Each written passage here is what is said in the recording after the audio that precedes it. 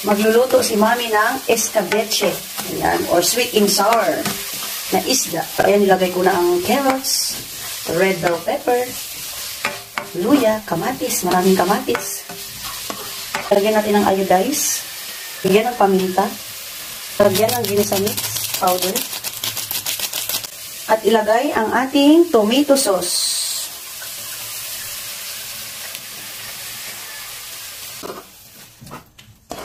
Lagyan natin ng kaunting sugar. Ilagay na natin ang ating isda. Ayan. Tatlong pirasong isda po ito. Hmm. Ayan. Para maluto ng ating escabeche isda or sweet and sour. So, ayan, lagay natin. Wow! Ayan guys, tingnan nyo.